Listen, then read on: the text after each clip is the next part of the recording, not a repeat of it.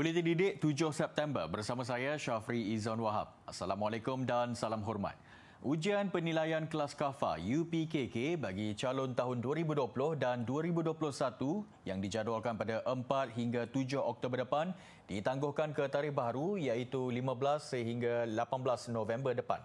Menteri di Jabatan Perdana Menteri Hal Ehwal Agama Idris Ahmad berkata, keputusan itu mengambil kira situasi semasa serta ulasan Kementerian Kesihatan, Kementerian Pendidikan dan Majlis Keselamatan Negara MKN.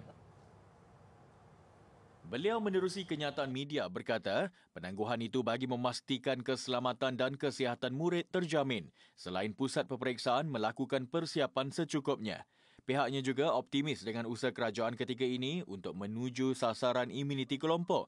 Turut membuat ketetapan hanya petugas peperiksaan yang mendapat dua dos lengkap vaksin sahaja dibenarkan untuk bertugas di semua pusat peperiksaan. Justru Jabatan Kemajuan Islam JAKIM dengan kerjasama semua agensi telah menyediakan pelan tindakan demi memastikan UPKK dapat dilaksanakan dan berjalan lancar. 15 Ogos selepas, Menteri Kanan Pendidikan Datuk Dr. Razi Jidin mengumumkan sesi persekolahan mula dibuka pada 3 Oktober secara berperingkat. Ia bermula dengan kelas peperiksaan mengikut perincian Pelan Pemulihan Negara PPN. Keputusan mengenai pemberian suntikan vaksin COVID-19 kepada pelajar sekolah akan dimuktamadkan pada satu mesyuarat penyelarasan melibatkan Kementerian Kesihatan dan Kementerian Pendidikan pada Khamis ini. Menteri Kesihatan Khairi Jamaluddin berkata, sebaik keputusan mengenai perkara itu dibuat pada mesyuarat itu, ia akan dibawa kepada Majlis Keselamatan Negara MKN untuk tindakan seterusnya. Hari Khamis ini saya ada mesyuarat penyelarasan bersama dengan pengurusan tertinggi KKM bersama dengan Menteri Pendidikan dan juga pengurusan tertinggi Kementerian Pendidikan Malaysia. Apapun kita akan buat uh, keputusan muktamad pada selepas mesyuarat itu uh, untuk dibawa ke MKN nanti. Okey? Ada ada cadangan tapi biar kita adakan mesyuarat dulu. Tambah beliau, selain suntikan vaksin kepada pelajar sekolah, terdapat cadangan lain berkenaan pendidikan dan kesihatan ketika menghadapi cabaran COVID-19 yang akan dibincangkan pada mesyuarat itu nanti. Kairi berkata demikian selepas meninjau program outreach suntikan vaksin COVID-19 kepada penduduk di Pulau Larapan, Sempurna, Sabah. Sempurna menerima 26,000 dos vaksin consignor dan setakat ini 3,000 sudah digunakan.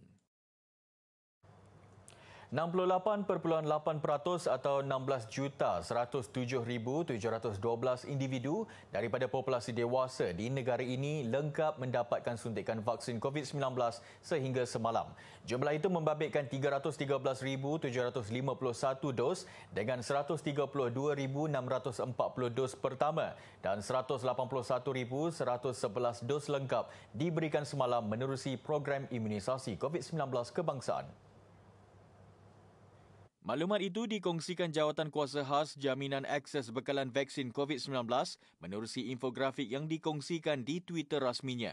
Daripada jumlah itu, 20,677,827 individu atau 88.3% populasi dewasa di negara ini sudah menerima sekurang-kurangnya satu dos vaksin COVID-19 sehingga Isnin lepas. Pemberian vaksin diberikan sebaik program PIK dilancarkan bagi membendung pandemik COVID-19.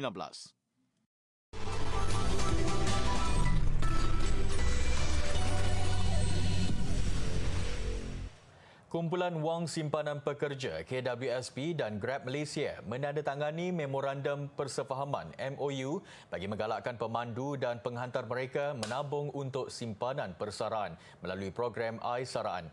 Ia melibatkan ahli berumur bawah 55 tahun atau caruman sukarela bagi yang berumur 55 dan ke atas. Ketua Pegawai Eksekutif KWSP, Datuk Seri Amir Hamzah Azizan berkata, Aisaraan adalah caruman sukarela yang membolehkan individu yang bekerja dalam ekonomi gig dan bekerja sendiri menabung untuk simpanan persaraan. Pencarum di bawah Aisaraan akan menerima insentif kerajaan sebanyak 15% berdasarkan jumlah caruman individu setahun sehingga maksimum RM250 setahun. Manakala di bawah program caruman sukarela pula, individu boleh mencarum sendiri pada bila-bila masa sehingga RM60,000 setahun. MOU ini adalah kesinambungan daripada MOU yang telah ditandatangani oleh kedua-dua pihak pada Ogos 2018. Terdapat 12,000 kekosongan pekerjaan yang ditawarkan di seluruh negeri Johor berdasarkan laman sesawang My Future Jobs oleh Pertubuhan Keselamatan Sosial Perkeso setakat 27 Ogos lepas. Bagi bulan Ogos sahaja, sebanyak 9,931 kekosongan jawatan yang ditawarkan di seluruh negeri. Daripada jumlah itu, sektor pembuatan menawarkan jumlah kekosongan pekerjaan tertinggi iaitu 2,695 kekosongan. Perkeso turut melaksanakan inisiatif dan berperanan sebagai pengkalan data bagi mengumpul maklumat serta pusat informasi. Berdasarkan rekod Perkeso Negeri Johor, bilangan individu di negeri itu yang hilang pekerjaan bagi tempoh Januari hingga 13 Ogos 2021 adalah 3,915 orang. Sektor pembuatan merupakan sektor yang menyumbang jumlah kehilangan pekerjaan yang tinggi melibatkan 1,278 orang. Bagaimanapun komitmen tinggi kerajaan negeri dalam menjayakan program imunisasi COVID-19 kebangsaan untuk mencapai imuniti kelompok dilihat telah memberi harapan baru dan kesan positif kepada kehidupan rakyat serta sosioekonomi negeri. Kerjaya dalam bidang farmasi merupakan antara bidang kerjaya yang paling popular di dunia.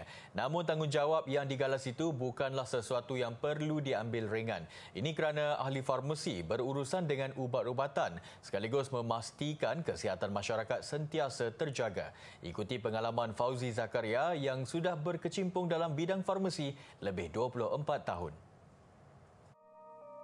Graduan ijazah dalam bidang farmasi dari University of Nottingham, United Kingdom ini mula berkhidmat sebagai ahli farmasi di bahagian regulatory selepas menjalani latihan selama setahun di Biro Pengawalan Farmaceutical Kebangsaan. Pada tahun 2007, Fauzi mendapat peluang bekerja di Copenhagen, Denmark selama lebih tiga tahun sebelum berhijrah ke Switzerland sehingga kini. Menurutnya, bidang farmasi mempunyai cabang yang luas termasuk bidang ujian klinikal, amalan perkilangan baik dan kualiti ujian klinikal. Uh, bekerja sebagai seorang uh, ahli farmasi banyak juga cabaran sama ada bekerja di dalam negara ataupun di luar negara bergantung kepada uh, bidang apa yang kita pilih setelah menjadi seorang ahli farmasi. Kita perlu keep up to date dengan pengetahuan pengetahuan um, berkenaan ubat-ubatan, berkenaan uh, peraturan-peraturan um, semasa yang melibatkan um, um, ahli farmasi dan juga uh, bidang ubat-ubatan. Uh, ini amat penting kerana kita uh, banyak ubat-ubatan baru yang yang masuk uh, ataupun di uh, dicipta oleh syarikat-syarikat farmaseutika dan sekiranya um, bekerja di di terutamanya di hospital ataupun di di uh, uh, farmasi community uh, perlu uh, memiliki pengetahuan yang terkini. Lebih 12 tahun menetap di luar negara, pelbagai cabaran dihadapi namun memberi kepuasan tersendiri buatnya. Bagi pelajar yang memasang impian untuk menjadi ahli farmasi, mereka perlu membuat kajian rapi mengenai bidang itu terlebih dahulu. Pertamanya kita kena perlu faham uh, apa itu bidang uh, farmasi dan uh, apa itu peranan seorang ahli uh, farmasi yang berdaftar. Uh, banyak salah faham uh, di kalangan masyarakat uh, ahli farmasi ini hanyalah seorang yang duduk di uh, belakang kaunter di hospital ataupun di uh, farmasi di kedai dan uh, pesakit ataupun um, uh, pembeli datang beli ubat uh, dan ahli farmasi ini akan uh, bagi ubat uh, dekat uh, pembeli. Itu itu itu tak salah tapi itu bukanlah sahaja uh, uh, kerja sebagai seorang um, ahli farmasi uh, yang berdaftar. Dalam pada itu, syarat-syarat untuk memohon bidang farmasi di peringkat universiti juga perlu diketahui para pelajar bagi memudahkan proses persiapan.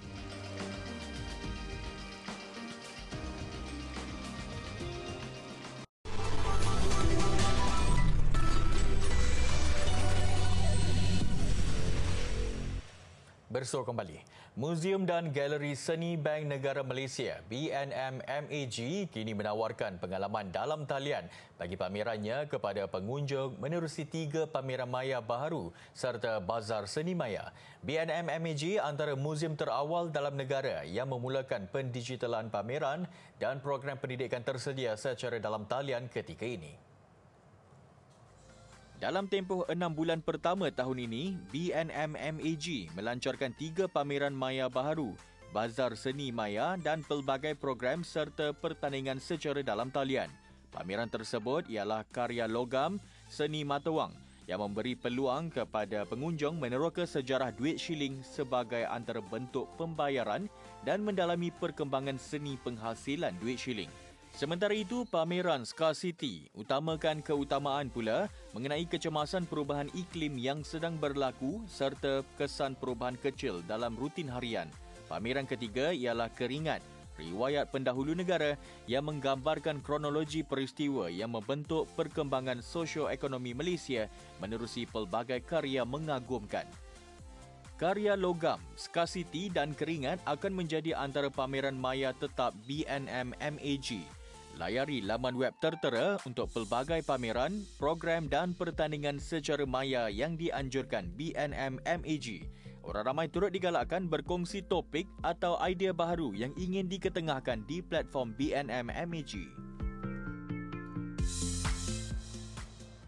Penduduk Singapura kini perlu lebih berhati-hati kerana sebuah robot akan meronda di kawasan awam bagi mengesan kesalahan seperti merokok, meletakkan basikal sebarangan dan menjaja secara haram. Pemantauan itu dilakukan robot yang dikenali sebagai Xavier. Berita Media Corp melaporkan robot bernama Xavier akan menjalankan rondaan di Toa Payoh sepanjang tempoh 3 minggu dengan sesi percubaan bermula kemarin. Tok Payoh dipilih kerana terdapat ramai pejalan kaki dan tingkah laku tidak diingini yang dikesan oleh pegawai awam di kawasan berkenaan. Robot itu akan mengesan tingkah laku tidak diingini dengan menghantar maklumat kepada pusat arahan dan kawalan serta mempamerkan pesanan di papan pemukanya bagi mendidik orang awam mencegah tingkah laku yang dilarang. Xavier bergerak pada kelajuan 5 km sejam selain mempunyai pelbagai jenis sensor yang boleh membantunya bergerak di ruang awam selain mengelak daripada halangan seperti pejalan kaki dan kenderaan di laluannya.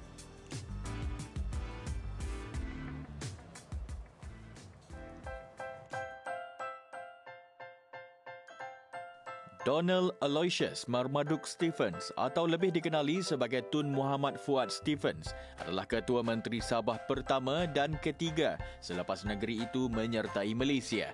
Tun Fuad Stephens antara individu yang banyak memberi sumbangan kepada penggubalan perlembagaan Malaysia serta membawa Sabah menyertai Malaysia. Beliau juga merupakan wakil Sabah dalam perjanjian Malaysia di London. Sebelum penglibatan beliau dalam politik, Tun Fuad Stephen ialah seorang wartawan dan pada tahun 1953, beliau menubuhkan The Sabah Times. Tun Fuad Stephens pernah dilantik sebagai Pesuruhjaya Tinggi ke Australia dan Fiji pada tahun 1968. Kerajaan kemudian melantik beliau sebagai Yang di-Pertua Negeri Sabah dari tahun 1973 hingga 1976. Tun Fuad Stephens meninggal dunia dalam nahas pesawat pada 6 Jun 1976 di Kampung Sambulan iaitu 2 km dari lapangan terbang antarabangsa Kota Kinabalu, Sabah. Beliau dikebumikan di tanah perkuburan berhampiran Masjid Negeri Sabah, Kota Kinabalu.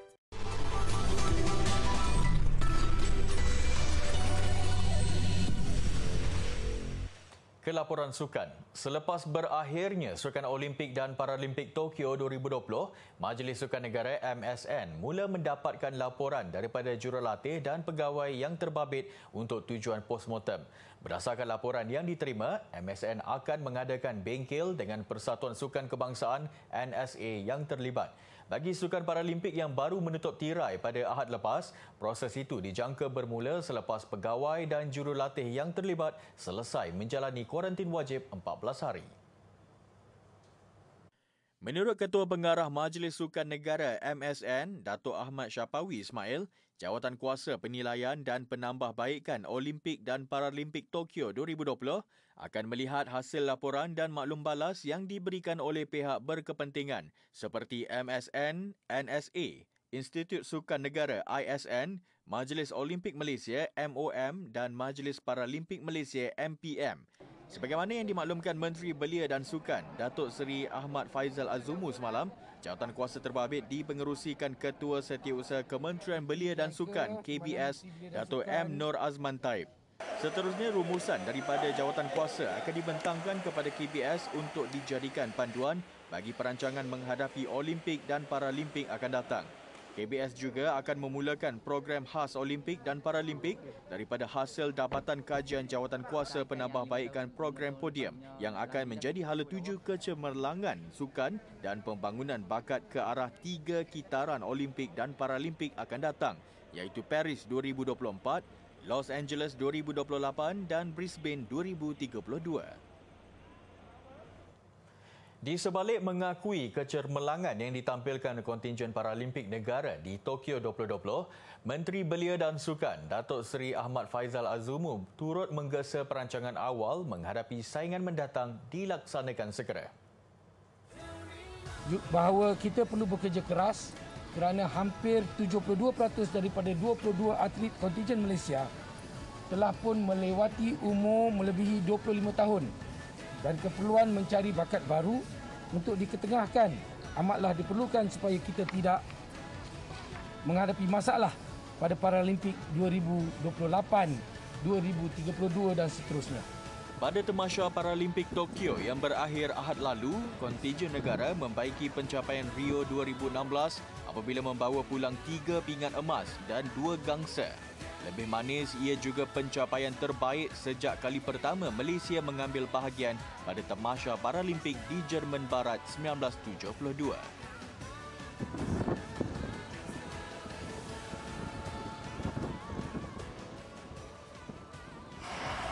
Sementara itu, dua pemenang pingat emas para negara, Abdul Latif Romli menerusi acara lompat jauh dan Cheh Lik Ho, badminton yang pulang ke tanah air semalam masih berhasrat mahu membawa cabaran negara ke Temasya Paralimpik Paris 2024. Begitupun, segala-galanya bergantung kepada situasi semasa. Paris tu ada tiga tahun lagi. Saya akan uh, timbangkan dululah Leg Ho yang mengejutkan pemain nombor satu dunia dari Indonesia, Deva Anri Musti pada aksi final di Tokyo akan mencecah usia 36 tahun pada Temasya Paralimpik di Paris nanti. Bagi Abdul Latif Romli, dia akan menjalani rawatan pemulihan bagi kecerahan pangkal peha yang dialaminya ketika melakukan lompatan keempat di Tokyo. Dan sebaik tamat kuarantin wajib 14 hari, dia bercadang bertemu ibu bapanya di kampung halaman. Ah, InsyaAllah kalau tak ada apa-apa masalah, kalau tak ada injury dalam waktu dan lepas kelayakan, saya akan cuba. Ini pula mengenai legenda bola sepak dunia Pele. Bekas pemain sensasi Brazil itu selamat menjalani pembedahan untuk membuang ketumbuhan yang dikesan di ususnya. Pele dimasukkan ke hospital sejak enam hari lalu berikutan masalah kesihatan ketika menjalani rutin pemeriksaan. Menurut Hospital Sao Paulo, Pele didapati mengalami ketumbuhan di bahagian usus yang memerlukan rawatan dan pembedahan segera. Pele yang berusia 80 tahun kini sedang menjalani pemulihan dan dijangka akan berpindah ke ward biasa dalam tempoh dua hari lagi. Pele sebelum ini memaklumkan tidak mengalami sebarang masalah kesihatan kritikal menerusi laman sosial media miliknya. Visual gelongso air di kawasan pergurungan mengakhiri buletin didik malam ini. Saya Syafri Izan Wahab, salam hormat dan Assalamualaikum. Jumpa lagi.